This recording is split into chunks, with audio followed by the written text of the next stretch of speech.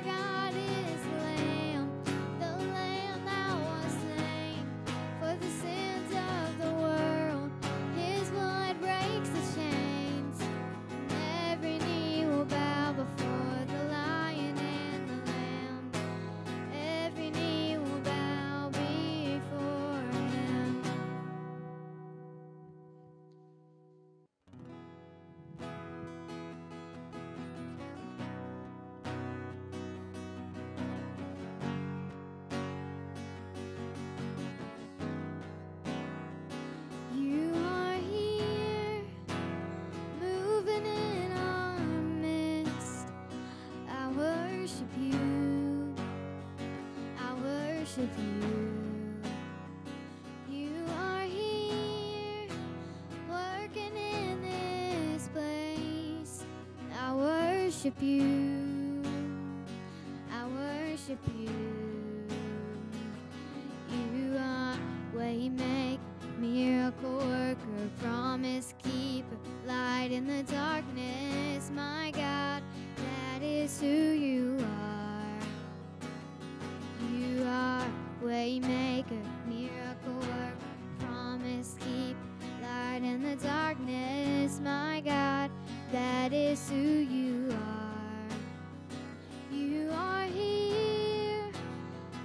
Touching every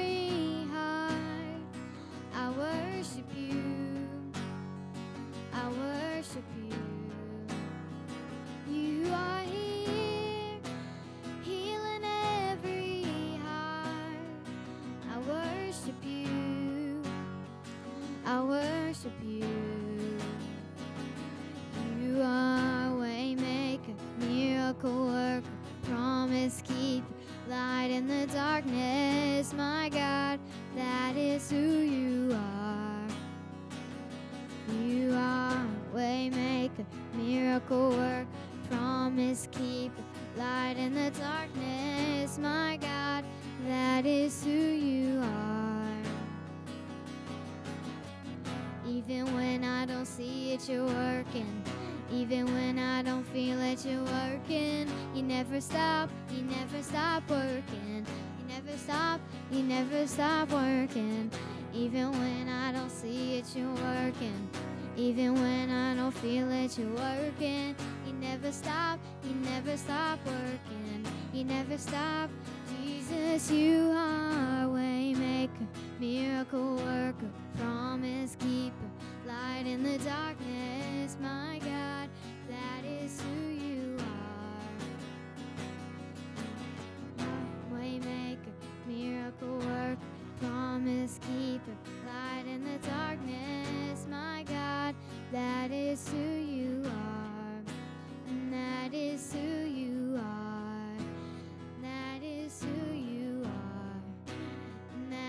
Is who you are.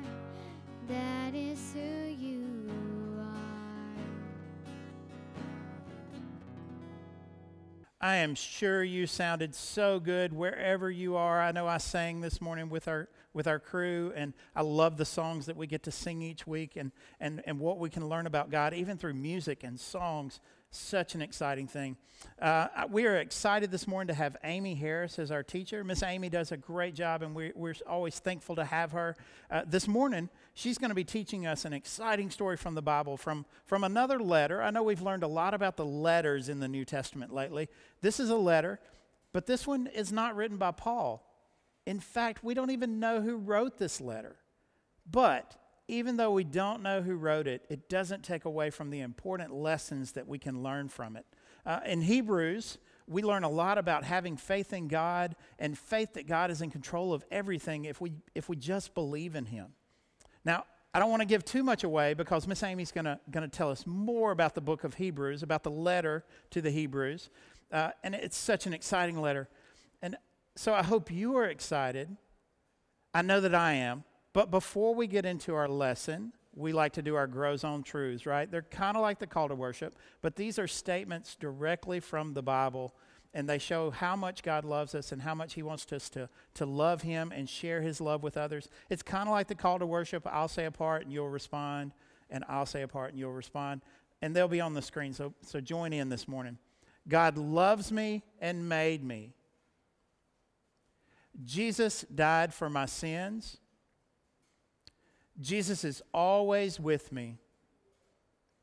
I am called by Jesus. And the last one, and everyone knows this is my favorite because we really get into this. So, wherever you are, let me hear you. God gives us joy. Yes, God does give us joy, and He does love for us to have fun, but He also loves for us to learn more about Him. So, I want to invite you now to, to, to settle in, to listen to Amy's teaching this morning. And before she comes, I'm going to pray for us, okay? So, everybody, bow your heads wherever you are. Father God, thank you so much for this day. Thank you for a chance for us to, to gather together, even though we're not in the same room. Thank you for being with us wherever we may be. Be with Amy this morning as she teaches an exciting story from the book of Hebrews. Uh, God, just be with us as we listen. Help us to hear something new. Help us to, uh, to, to know something new about you so that when we, when we go out and play or when we go out and do whatever we're going to do, that we would share what we learn about you with others around us. God, we love you so much and thank you for loving us. These things we ask in your name. Amen. Now, settle in, get ready for the teaching, and I'll be back as soon as Amy's done, and we'll have a challenge for the week and we'll do our memory verse again. Welcome to the Grow Zone, everybody. This morning we are going to start out by reading a scripture um, in Hebrews now, faith is the confidence in what we hope for and assurance about what we do not see. And without faith, it is impossible to please God because anyone who comes to Him must believe that He exists and He rewards those who earnestly seek Him. So, today we're going to be talking about faith. And there are three questions that we're going to be able to answer after, after our lesson today. What is faith? Why do I need faith? Why have faith? Um, and also, who are some good examples uh, of people who've had great faith? So we're going to talk about all of those things. But first, let's check in with the barn friends and see what they have to say about it. Trackers of Faith, featuring Duke and Luke, the Barn Brothers. Penny, the code cracking tech savvy gal who is quick on her feet. Walker, the big hearted handyman who uses his mechanical know how to lend a helping hand. Jenny, the fun loving biblical brains of the operation. And Milton, this super sassy swine has been fitted with the latest in animal communication technology. Join this crew of high tech heroes as they sow truth, know truth, and grow truth. Trackers of Faith.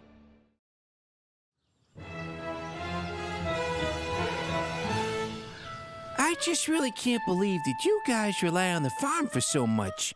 I mean, one bad season and you're in major trouble. You won't be able to sell your crops to earn money, and you really won't have any food either. Doesn't that make you uh, kind of nervous? I don't really think of it that way. Although it's true that while we put a ton of work in planting and planting, there actually isn't anything we can do to make the crops grow. We can't make it rain, we can't control what kind of insects show up, and we can't do anything to stop bad weather like a late frost or a tornado or even a flood. We sow, but then we have faith. Faith, huh? Yeah, faith.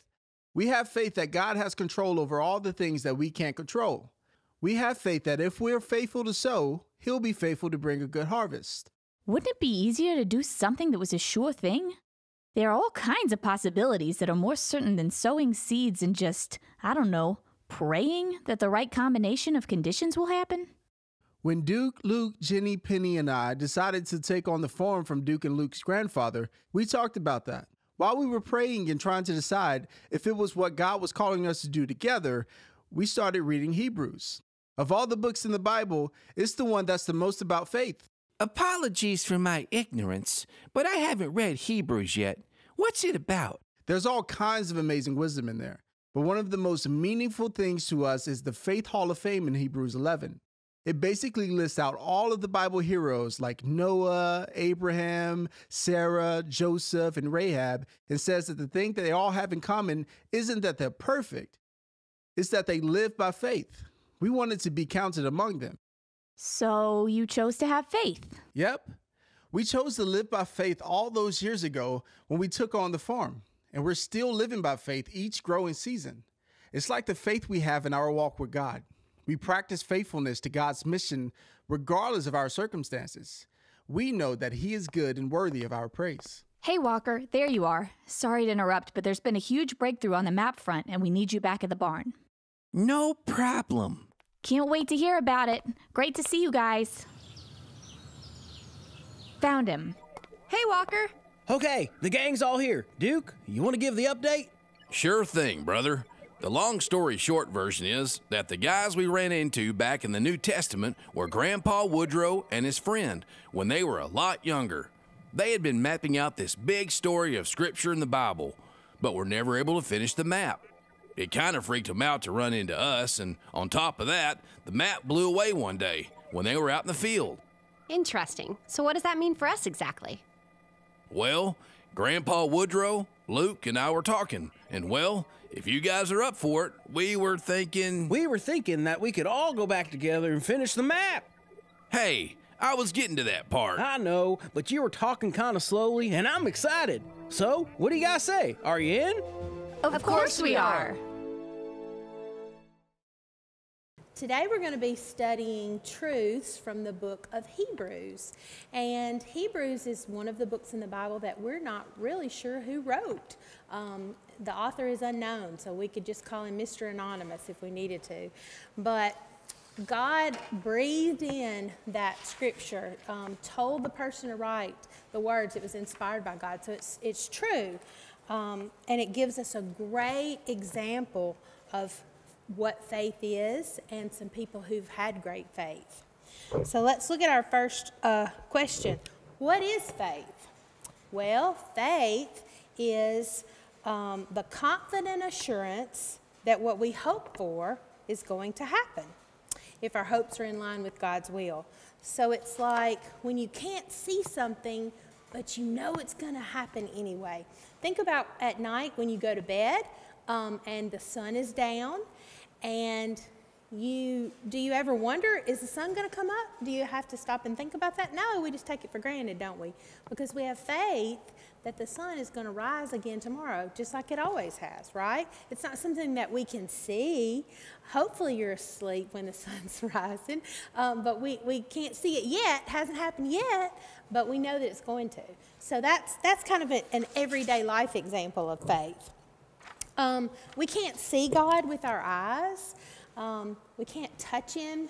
Um, but we can see the evidence of what He has done for us all around us, right? Create everything that He has created. Um, that, that helps us see what God has done for us, right?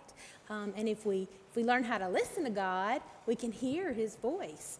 One of the main ways you can hear God is by reading the Bible and memorizing scripture. That way, you'll always have those words that come straight from Him with you all the time. So, that's a great way to do it. Um, another way to um, practice listening to God is through um, your Christian leaders and teachers and pastors, your parents. Um, we can listen to others that are wise and who have great faith and um, see what they can teach us. Um, another thing that we all have, if you'll listen for it, is your conscience. Um, that little small voice that will sometimes tell you, no, you don't need to do that, or that's not the right thing here, this is the right thing for you to do. That's your conscience. And sometimes the Holy Spirit will speak to you um, through your conscience, but you have to practice, you have to learn to listen for that. Um, so, those are good ways to uh, practice your faith. Think about, um, let's do an example like this. Hold your hand out in front of you and blow. Blow again. Did you see your breath? Did you see my breath? You could feel it though, couldn't you? It's kind of like the wind when the wind blows. You can't see the wind, but you can see what the wind, what the effect the wind has on other things. That's kind of like the Holy Spirit. Even though we don't um, see it, we believe in Him because we can feel Him. We can feel the, the evidence that, um, kind of like the way that the wind blows. the next question we're going to talk about is why have faith? Why is it important to have faith? Why is faith? It sounds like something good, right? But why is it important for us to have faith? Well, the Bible gives us three scriptures that tell us exactly why we should have faith, and I'm going to read those for you. The first one is in Ephesians 2 8, and it says, For it is by grace you have been saved through faith. And this is not from yourselves, it is the gift of God. So, what this is saying is, um, we Jesus and His grace and having faith in that, that's what saves us. That's what saves us for our sin. And we, we want that salvation, right? We don't earn it. We can't do enough good things, good deeds um, to earn that. It's just given to us freely, but we have to accept it. And we have to have faith that Jesus is going to do what He says. He's going to forgive us of our sins if we, if we trust in Him. Uh, another verse that, where the Bible explains why it's important for us to have faith is in James chapter 2, verse 17. It says, So also faith by itself, if it does not have works, is dead. So it's telling us that good works will come as a result of our having faith. Um, if we have faith, the Holy Spirit will give us the power, He'll equip us, He'll give us what we need to do good things for other people, to do wonderful things for the people around us and for the world. And we want to do that, so we definitely want to have faith so we can participate in those good works, right? And then at the end, we end up receiving a blessing from that too. And then the last um, verse that I want to point out to you that explains why we need to have faith, it, it comes from Hebrews uh, chapter 11, verse 6, and it says, And without faith it is impossible to please him, for whoever would draw near to God must believe that he exists, and he rewards those who seek him. So it pleases God for us to have faith. And we all want to please God, right? Um, it's impossible to please him if we don't have faith. And basically, what that's saying is if you don't believe in God, then, then you're, you're never going to please Him and you don't have faith in Him. So got to have faith in those things that you can't see, right? And have faith in God, and that will, that will please Him. We'll grow to trust Him more and more. And God rewards us with that, when we have that growing faith. We'll receive all kinds of blessings. So, finally, the third question we want to answer today is Who is an example of faith? Well, we have lots of good examples of faith in the Bible, right? Um, I'm going to read you some uh, out of the book of Hebrews, chapter 11, and there are going to be lots of names um, from probably our Bible Trackers uh, series that you're going to remember. You're going to re- you're going to remember hearing stories about these people and their great faith. So let me begin by reading for you from Hebrews chapter 11. So, y'all listen carefully and see if you can recognize any of the examples of faith, okay? Now, faith is confidence in what we hope for and assurance about what we do not see. This is what the ancients were commended for. By faith, we understand that the universe was formed at God's command, so that what is seen was not made out of what was visible. By faith, Abel brought God a better offering than Cain did. By faith, he was commended as righteous when God spoke well of his offerings. And by faith, Abel still speaks, even though he is dead. By faith, Enoch was taken from this life so that he did not experience death. He could not be found because God had taken him away. For before he was taken, he was commended as one who pleased God. And without faith, it is impossible to please God because anyone who comes to him must believe that he exists and that he rewards those who earnestly seek him. By faith, Noah, when warned about things not yet seen, in holy fear built an ark to save his family. By his faith, he condemned the world and became heir of the righteousness that is in keeping with faith. By faith, Abraham, when called to go to a place he would later receive as his inheritance, obeyed and went, even though he did not know where he was going. By faith, he made his home in the promised land, like a stranger in a foreign country. He lived in tents, as did Isaac and Jacob, who were heirs with him of the same promise. For he was looking forward to the city with foundations, whose architect and builder is God. And by faith, even Sarah, who was past childbearing age, was enabled to bear children because she considered him faithful who had made the promise. And so from this one man, and he as good as dead, came descendants as numerous as the stars in the sky and as countless as the sand on the seashore. All these people were still living by faith when they died. They did not receive the things promised. They only saw them and welcomed them from a distance, admitting that they were foreigners and strangers on earth. People who say such things show that they are looking for a country of their own. If they had been thinking of the country they had they had left, they would have had opportunity to return.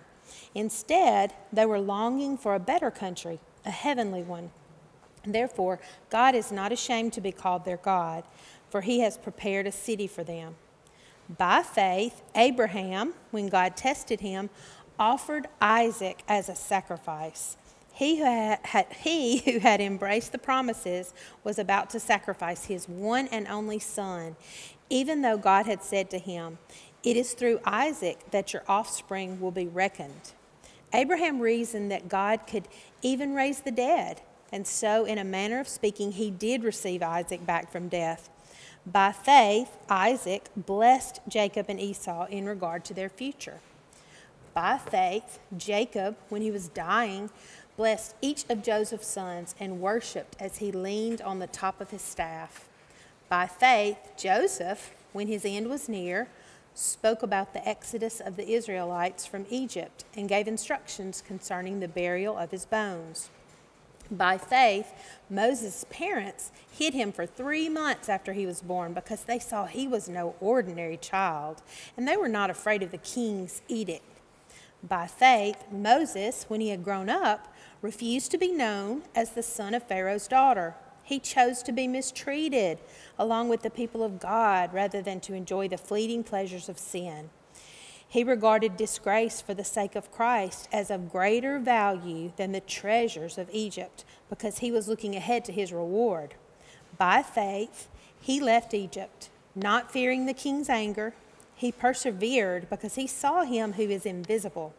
By faith, he kept the Passover and the application of blood so that the destroyer of the firstborn would not touch the firstborn of Israel. By faith, the people passed through the Red Sea as on dry land. But when the Egyptians tried to do so, they were drowned. By faith, the walls of Jericho fell after the army had marched around them for seven days. By faith, the prostitute Rahab, because she welcomed the spies, was not killed with those who were disobedient.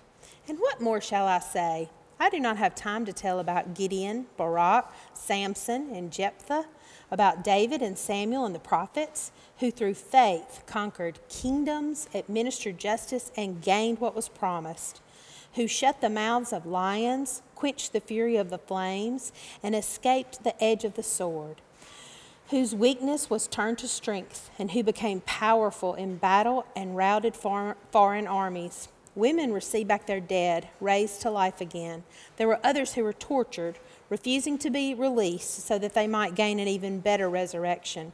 Some faced jeers and flogging, and even chains and imprisonment. They were put to death by stoning. They were sawed in two. They were killed by the sword. They went about in sheepskins and goatskins destitute, persecuted, and mistreated. The world was not worthy of them. They wandered in deserts and mountains, living in caves and in holes in the ground.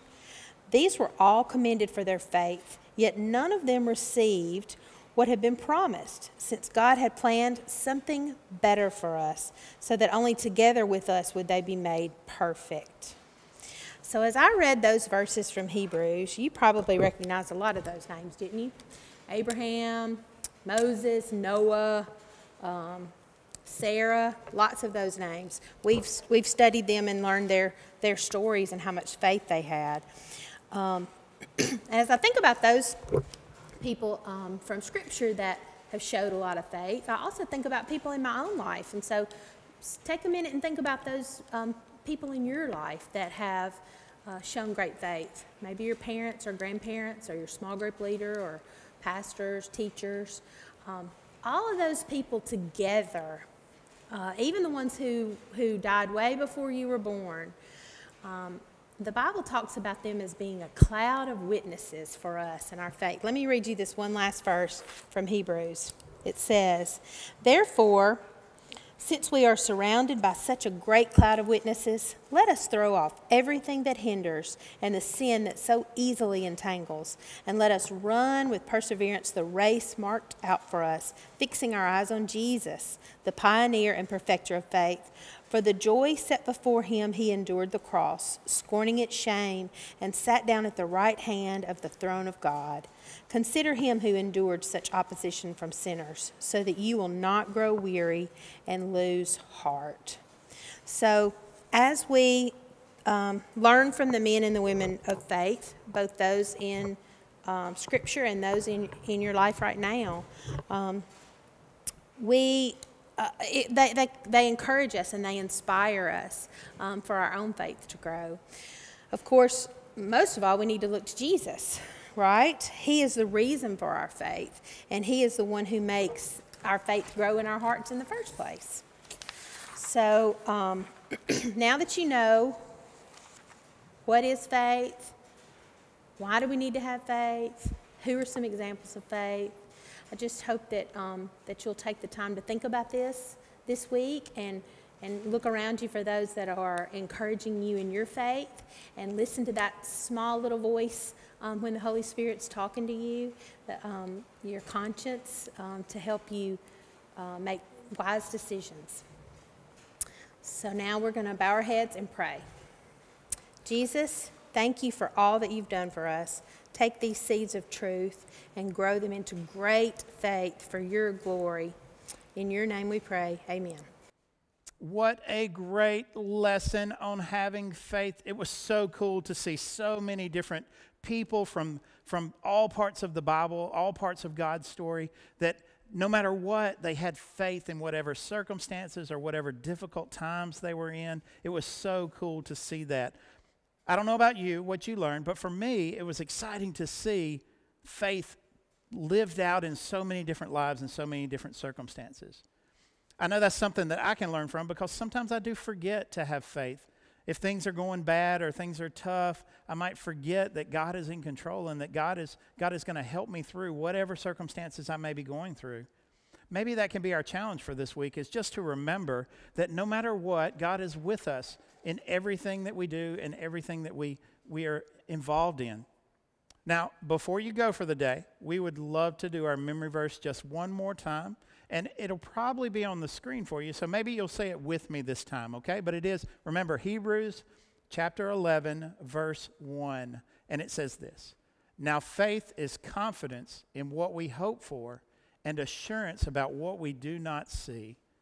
Hebrews 11, verse 1. Now, I want to challenge you this week to, to write that down and, and put it where you'll see it every day. Say it to uh, a friend or say it to a family member or just say it to God because God loves to hear from us. He loves for us to quote His scripture, He loves for us to learn His scripture. So, work on that this week. So, maybe next week you would have this one remembered when we get a brand new one. Wherever you are, whatever you do for the rest of your day, enjoy your day. We will see you again next time.